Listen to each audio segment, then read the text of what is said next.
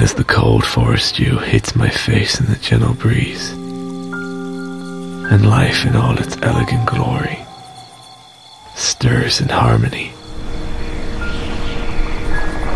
I feel the pain in the winds that embrace me, and then Our most dangerous. a silence,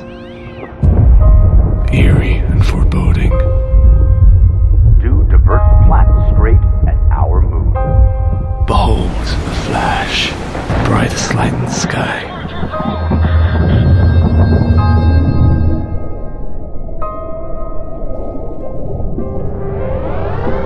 I look up to see the sins of our fathers falling from the heavens, born anew.